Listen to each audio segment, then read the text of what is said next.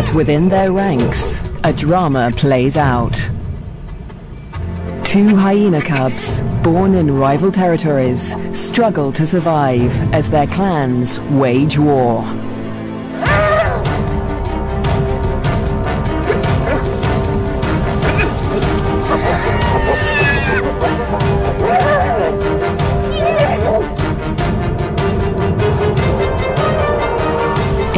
Volatile world, will two new lives endure? The battles of the Bone Crusher Queens.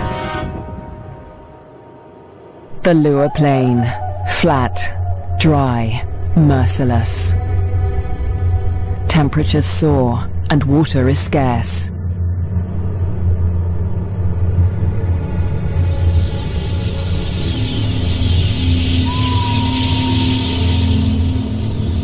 When the rains come, a wildebeest migration will flood into Liuwa Plain. But for now, only a few hardy adults stir the dust. Yet in this barren landscape, one of Africa's most underestimated predators has risen to greatness. The spotted hyena. Spotted hyenas are extraordinary survivors. Their powerful jaws crush through bone, and their cast-iron stomachs digest even rotting meat. Yet in many regions, these bone crushers hunt far more often than they scavenge. Female spotted hyenas are remarkable amongst mammals. They are larger, stronger, and fiercer than male hyenas. And they have the most male-like sexual organs of any female mammal. This bizarrely elongated organ was once thought to be a product of high testosterone levels in the womb, but today it continues to mystify scientists. The female hyenas govern the clans, led by all-powerful matriarchs.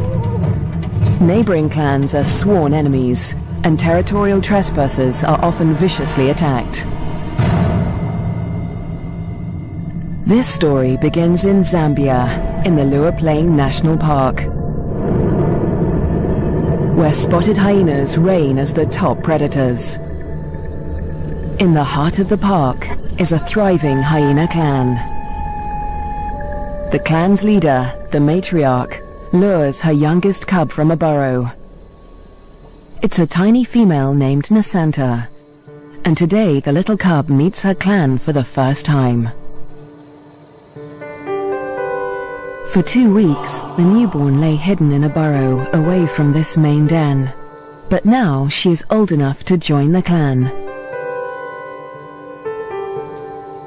Nasanta raises her leg in the typical hyena greeting, allowing her clanmates to identify her distinctive scent. The clan will recognize her by this smell, and she in turn must learn to recognize theirs.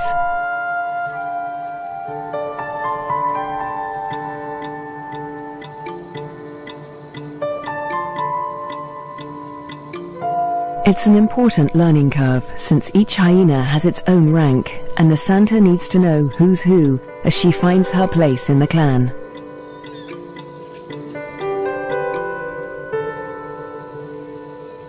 Fortunately, when it comes to rank, Nasanta has a head start.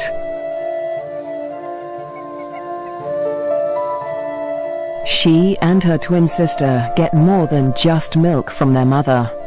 As cubs, they also inherit her superior status.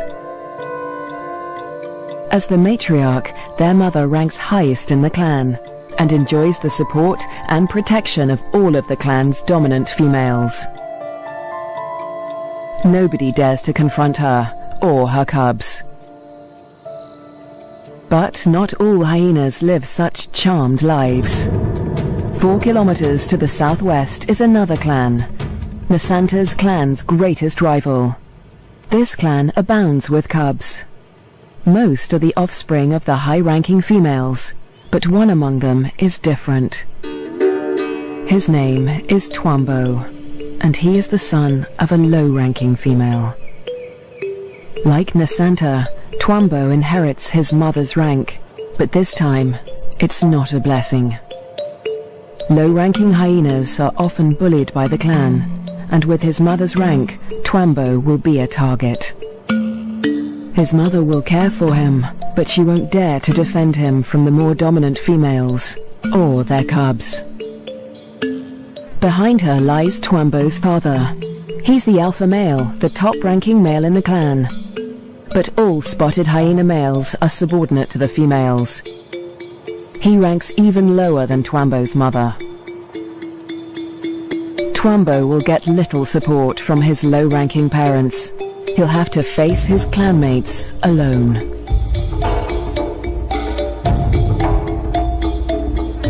But for now, it's all good fun.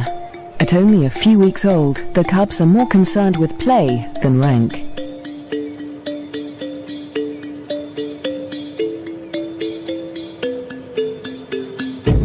For Twambo, the worst is yet to come. Twambo and Nasanta's home on the Liuwa Plain has a catastrophic history. For more than a hundred years, the Lozi people have lived in the Liuwa Plain National Park amongst the wildlife, conserving and protecting it by order of the Lozi King. But a decade ago, around the turn of the 21st century, everything changed. A scourge of poachers invaded Liuwa Plain. Weapons streamed in from war-torn Angola, and a massacre was unleashed. Lions were targeted for their valuable skins, the herds for their meat.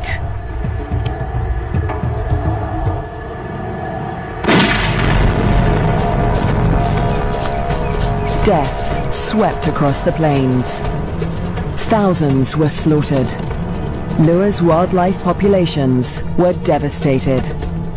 By 2003, the hyena's gravest enemies, lions, were all but obliterated. Only one known lioness survived, probably the last of her species in the region. But the poachers spared the spotted hyena. With its blotchy coat, it made a poor trophy, and its meat was worthless as food. With the threat of lions eliminated, the spotted hyena came to dominate the Liuwa Plain. But life in Liuwa today still has its challenges. The last weeks of the dry season are excruciatingly hot. The landscape distorts behind a haze of heat. But today, Twambo's mother senses a change.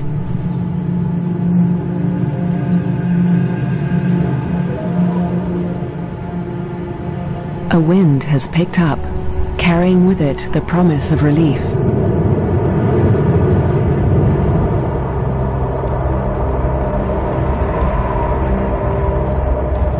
A storm approaches.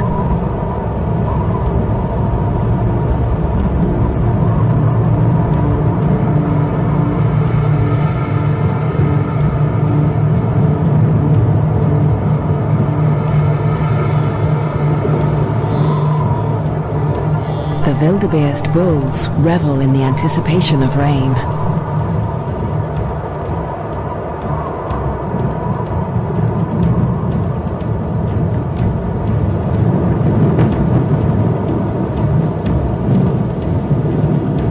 But this storm harbors a deadly threat. Fire. Flames tear through the dry grassland at terrifying speed, heading straight for Twambo and Nasanta's dens. The cubs are too small to outrun the blaze. If the fire reaches the den, they could suffocate in the heat and smoke.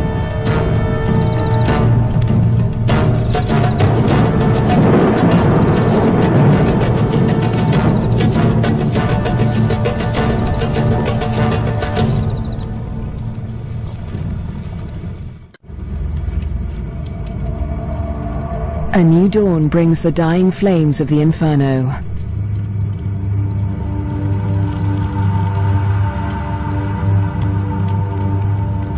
The blaze scorched the land around Nasanta's den before the wind turned it away.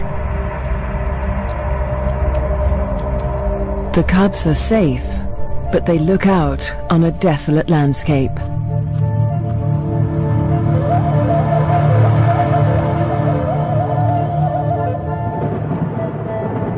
As the last embers burn to dust, the promised rain arrives at last.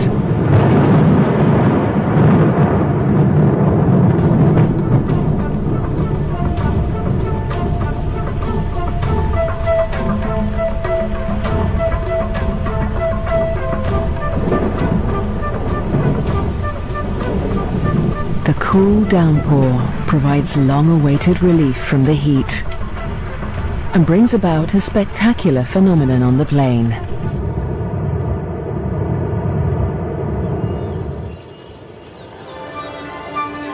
A few days after the fire, a carpet of pink lilies sprouts across the plains.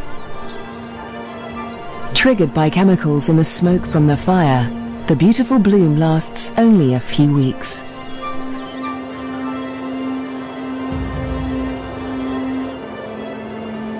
In the meantime, Nasanta's mother, the matriarch, needs to find food.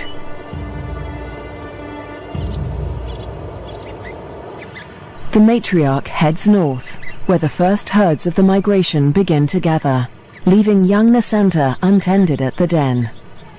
Spotted hyena milk is so rich that Nasanta can survive without suckling for days at a time, so the matriarch can afford to venture far from the den in search of food.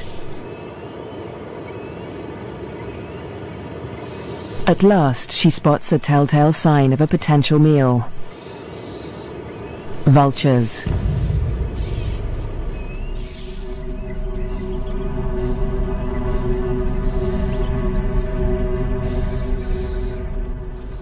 Her suspicions are soon confirmed. A wildebeest bull lies injured in the grass. The matriarch is the first hyena on the scene, but she is not the only predator. This bull is the victim of the last lioness in Liuwa Plain. The matriarch tries to move in on the bull, but she's unnerved by the lioness. A conflict with a big cat could be fatal. The hyena keeps her distance as the bull quietly dies, not willing to provoke a conflict while the lioness remains nearby.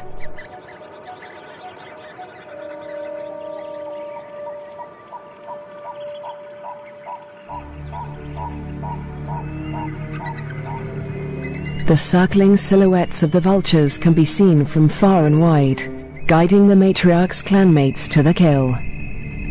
In the darkness, the hyenas feast at last.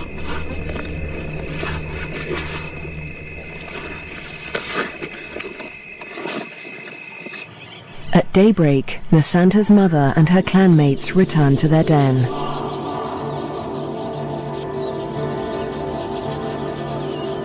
The matriarch rouses the cubs.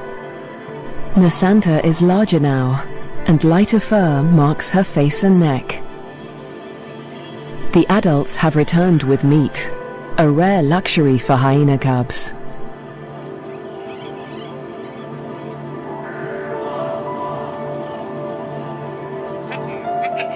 It's the highest ranking cubs that commandeer the scrap.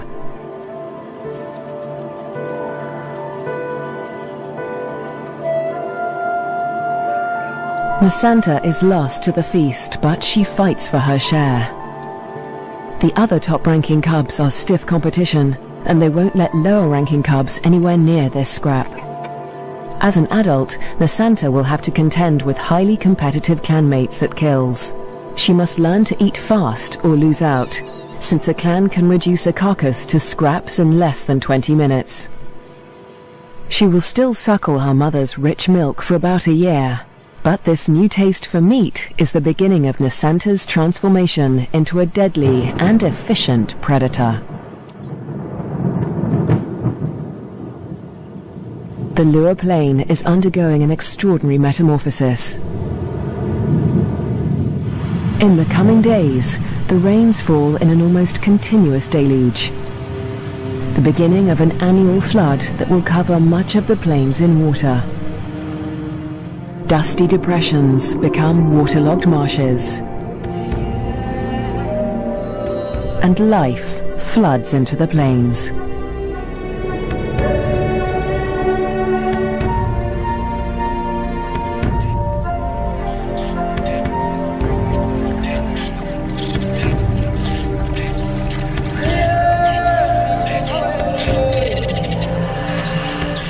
At last, the migration arrives.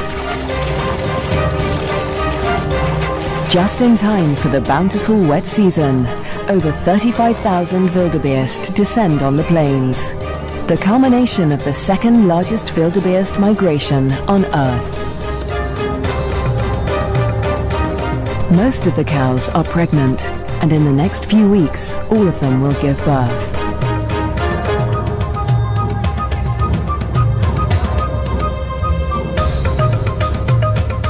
The calves make easy prey, but the sheer number of them ensures that many will survive to adulthood.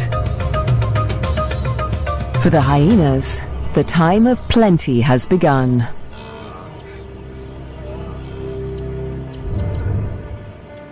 Meanwhile, at the den to the north, Nasanta is finding her place in the clan.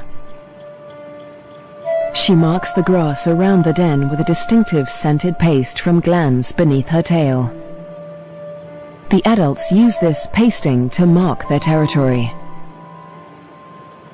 For Nasanta, it's part of the process of establishing her rank.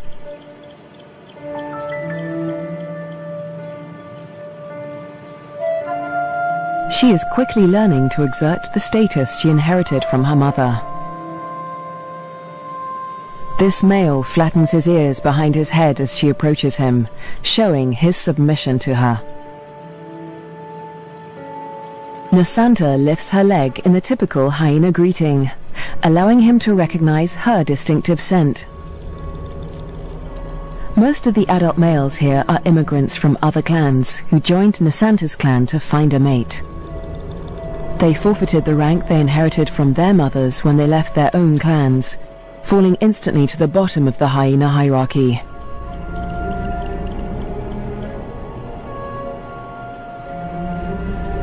Despite Nasanta's age and tiny size, this male and all the other adult immigrant males in her clan are subordinate to her.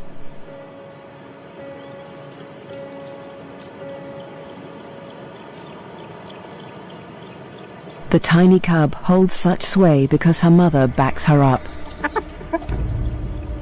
The matriarch often comes to Nasanta's defense, attacking low-ranking hyenas to reinforce her tiny cub status. The male is now in a precarious position. He must show absolute submission if he is to avoid an attack. Nasanta follows her mother's example, sniffing the male's genitalia. He bows and bobs his head to show his subservience.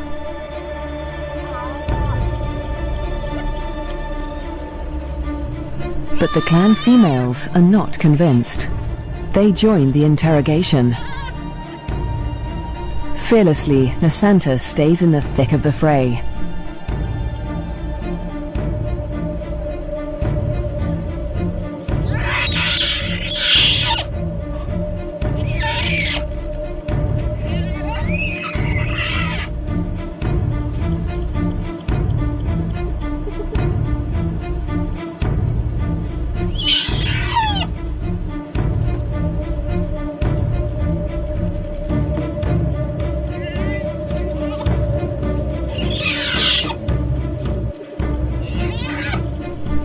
Other cubs are jumpy, but Nasanta seems fearless.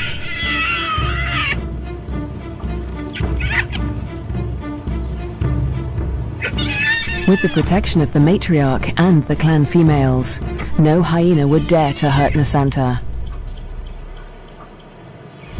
Four kilometers to the southwest, Twambo is not faring quite as well. He's also growing up fast, with the first spots showing through his black coat. But unlike most of the other cubs, Twambo is a loner. As the cubs get older, they become more aware of each other's ranks. The higher ranking cubs have built bonds with each other, forming relationships they will carry into adulthood. But Twambo has few allies in the clan. When the other cubs do take an interest in him, it's usually to beat him up.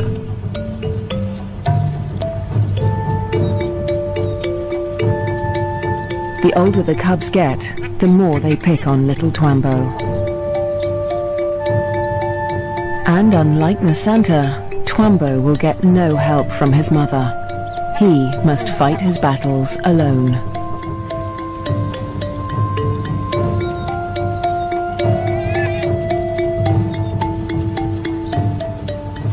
In the meantime, Twambo's mother has other things in mind. It's time to leave the cubs to hunt. There are many mouths to feed. The clan needs a big kill. Tonight, the hyenas will hunt as a pack.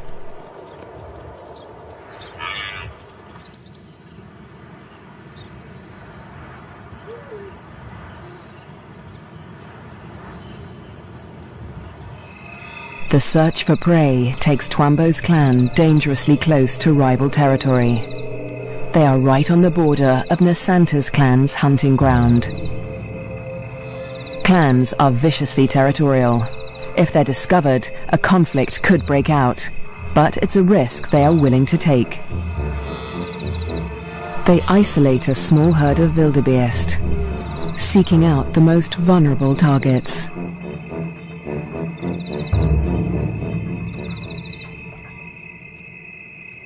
The clan charges the herd,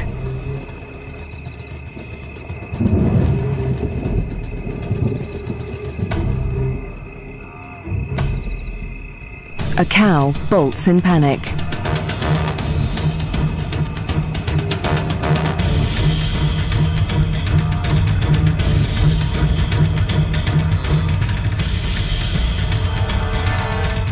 A calf is separated from the herd.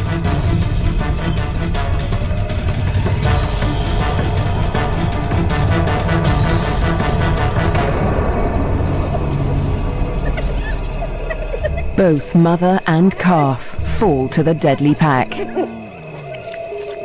But despite their success, the clan's proximity to rival territory makes them nervous. A violent clash with Nasanta's clan could end in serious injuries.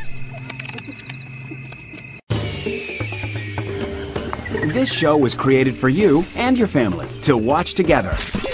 Welcome to Nat Geo Wild. They eat feverishly, dismembering the carcasses in minutes. The powerful jaws crush down with almost half a ton of force, tearing through bone and flesh with ease. Despite the feeding frenzy, the hyenas are anxious to avoid being discovered by their rivals. They try to drag the kills back into their own territory before they are spotted.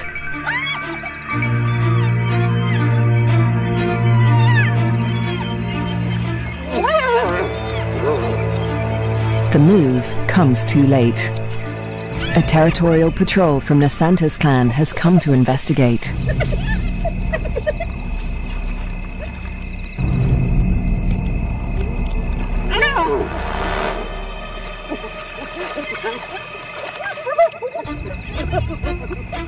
The scouts approach with caution as the intruding clan braces for a fight.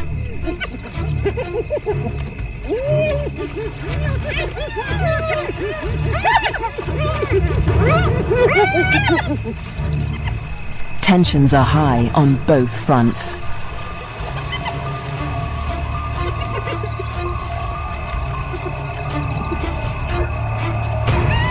A few scouts try to approach the kill, but the intruders chase them off. The scouts are grossly outnumbered They won't win this fight alone, so they retreat. But this battle isn't over yet. The scouts will return with reinforcements.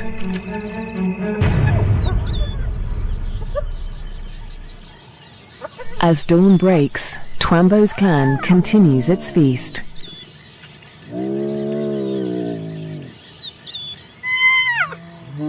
Lulled into false security, they hold their position, still precariously close to enemy territory.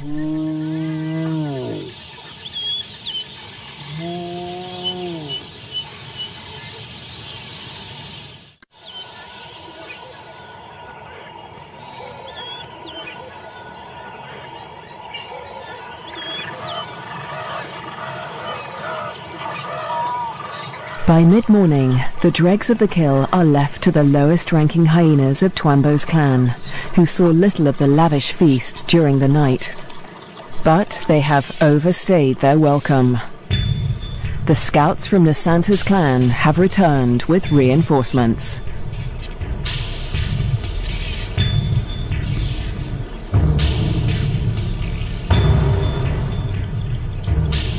This territorial infringement will not be taken lightly.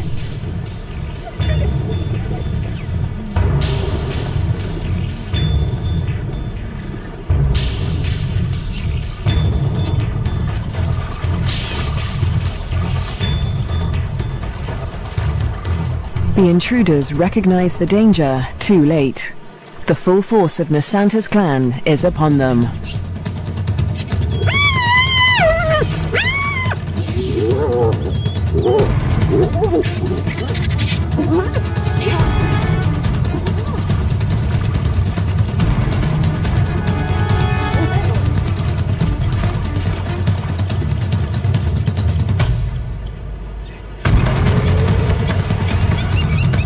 Twambo's father, the intruding clan's alpha male, is in trouble. A large female from Nasanta's clan is close on his tail.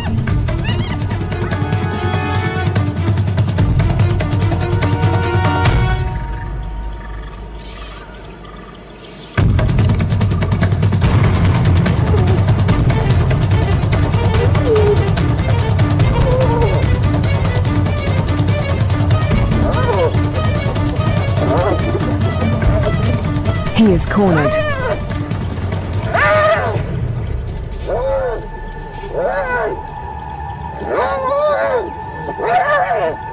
The fierce females show him no mercy.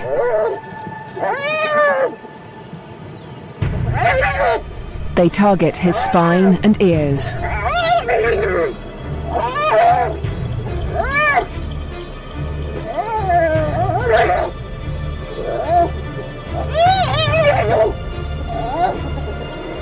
This is a fight for his life.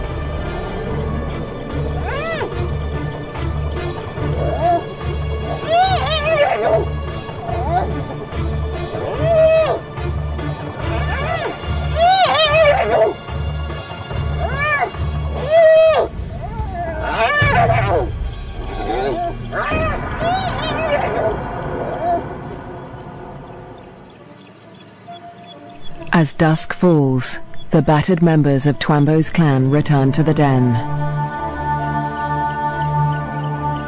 Many are wounded, but only one is missing. Twambo's father.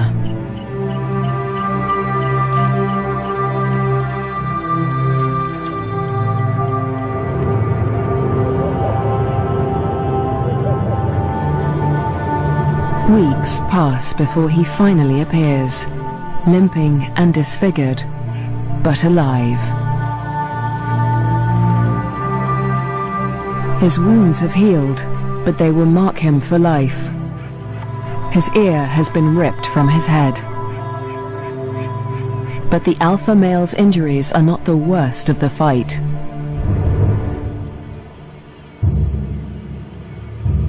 At Nasanta's den to the north, a male hyena's wounds reflect the true horror of the conflict.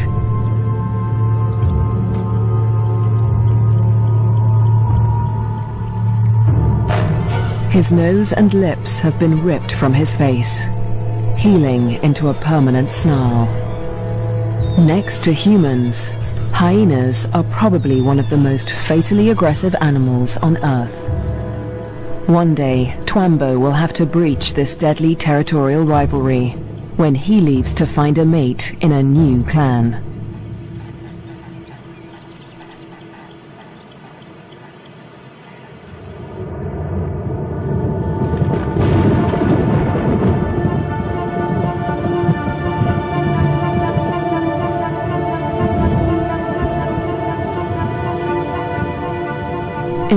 Weeks following the clan war, the rains continue to fall in a ceaseless torrent.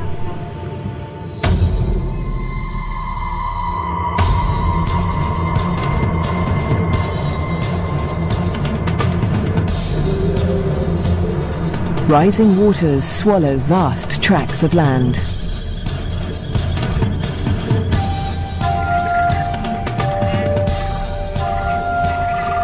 There is little dry ground, a blessing for the birds, but a curse for the herds that must wade through shoulder-high water.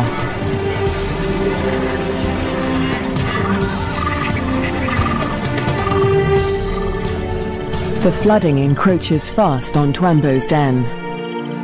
The adult hyenas seem to enjoy the quagmire, using it as a pantry in which to store scraps for future meals but the cubs cannot swim as well as their parents. If the waters reach the den, they could drown. For now, the den is still dry, and Twambo and his clanmates are safe. Twambo is starting to look more like the adult hyenas. His once black coat is now a spotty mane of brown fur, and he has more than doubled in size. But his low rank remains a problem. Even the smallest cubs still actively pick on him.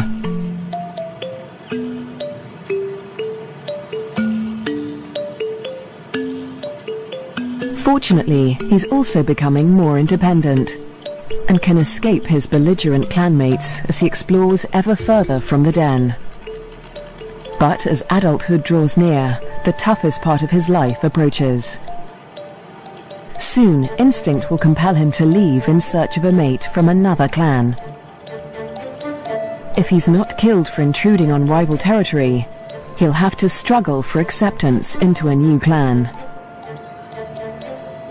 What little rank he has will be stripped away, and like the adult males of his own clan, he'll become submissive to the clan females unprovoked attacks and exclusion from kills would become commonplace. It's a hard life, but life without a clan is harder. Alone, he may struggle for food. His ability to draw nutrition from even the oldest bones may become a matter of survival. At the clan to the north, Nasanta and her sister will not suffer this fate. As high-ranking females, they will never want for food. In fact, unlike Twambo, they will often be the first to feed at kills. Much of the land around Nasanta's den is dry, and the matriarch guides the cubs through their future hunting grounds. Soon, they will even be allowed to join their mother on a hunt.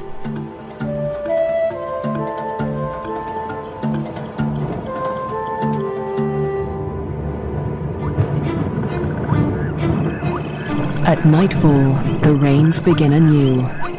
Catfish squirm through the flooded Liuwa Plain as the waters rise ever higher. If the flood reaches Twambo's den, it could change everything for his clan.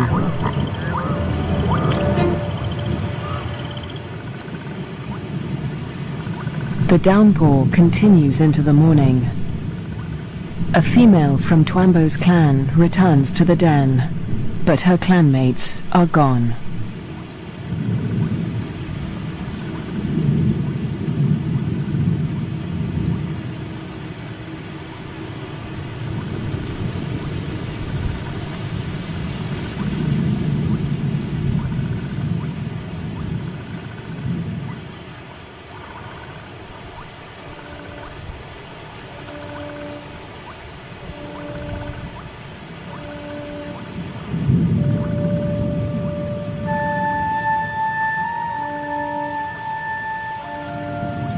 The burrows lie empty.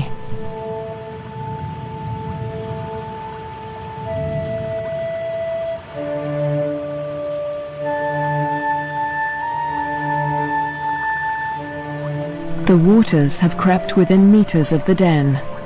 They are dangerously high. The cubs lack the size and strength to swim to safety and could easily drown in the deep waters.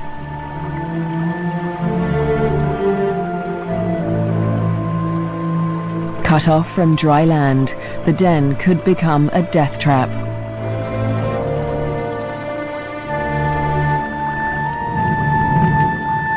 The matriarch must have led the cubs out in the night before the waters reached the den. But this female has been left behind. She will have to search for the clan on higher ground, or try to survive without them.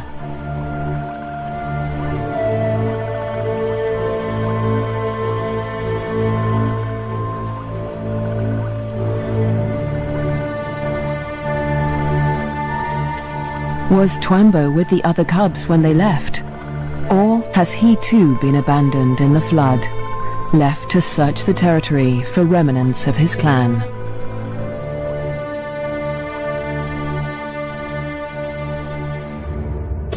Years pass, and the fates of Twambo and his clan remain uncertain. Dry seasons come and go, and each year the plains flood anew. Nasanta continues to flourish as she grows into a high-ranking adult.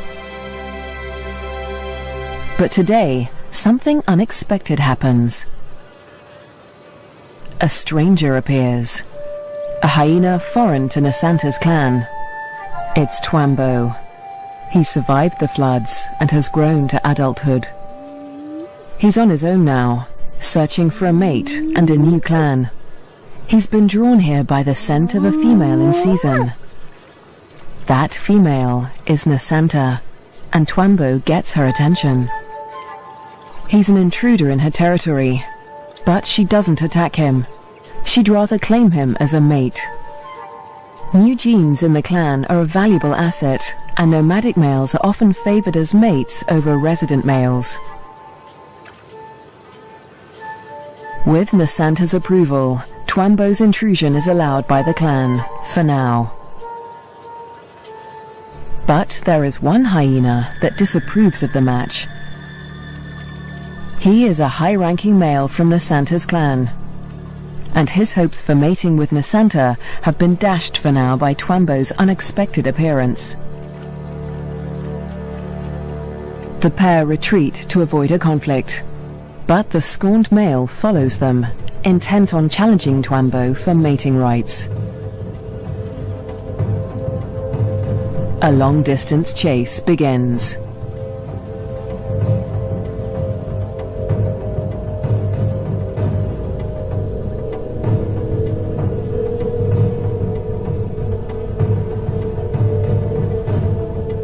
In the blistering midday heat, Twambo and Nasanta try to outrun their pursuer.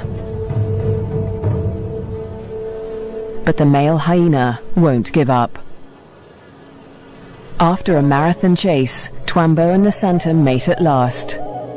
But in seconds, the competing male catches up. He's still desperate to mate, but he will have to get past Twambo first. Mating is no simple task for spotted hyenas. Because of Nasanta's male-like genitalia, it takes much maneuvering for Twambo to cover her successfully. Without her consent, no male can force her to mate. But that doesn't stop the scorned male from trying. He attempts to mount Nasanta from behind Twambo.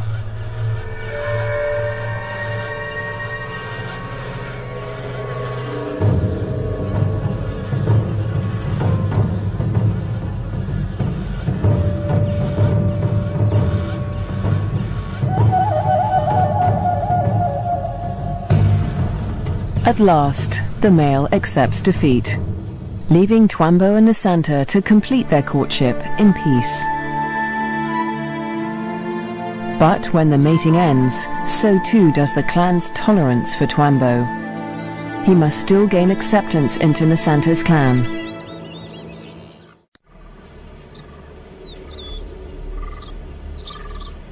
The next day, Twambo approaches Nasanta's den to attempt to gain acceptance.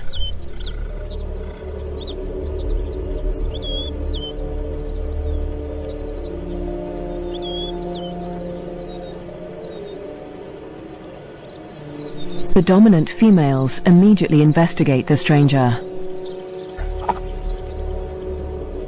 Twambo flattens his ears and bows his head to show his submission. But it's not enough for them.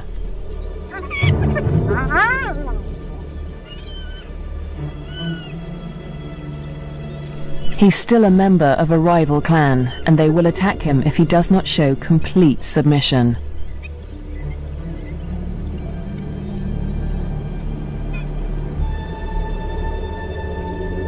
In order to gain acceptance into the clan, Twambo must also win the favor of the matriarch, Nasanta's mother.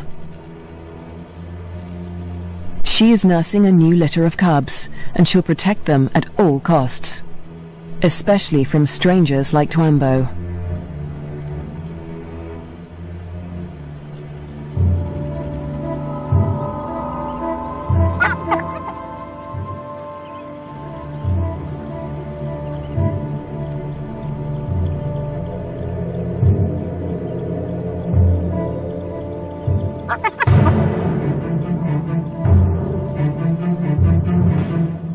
Twambo keeps his head low, showing absolute deference.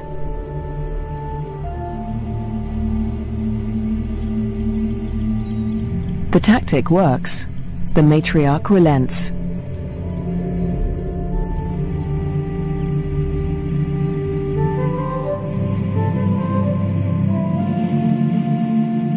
Finally, she allows him to greet her by sniffing beneath her hind leg.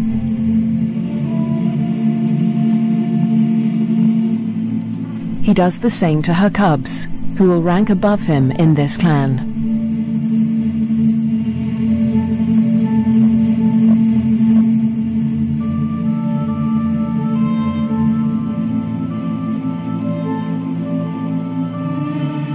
At last, he is allowed to lie down only meters from the matriarch. It seems that Twambo has been accepted into Nasanta's clan.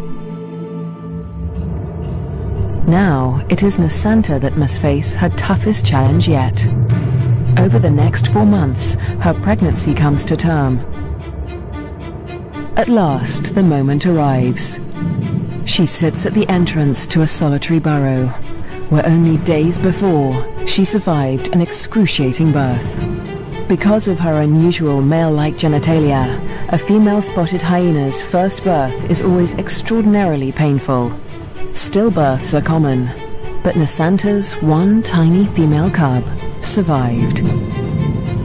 Like her parents, Twambo and Nasanta, this cub will have to endure life on the Liuwa Plain. She'll be spared from a life of bullying like Twambo's because she'll inherit Nasanta's high rank. But she'll still have to survive desperate drought, torrential flooding, natural disasters, and vicious rivalries with other clans.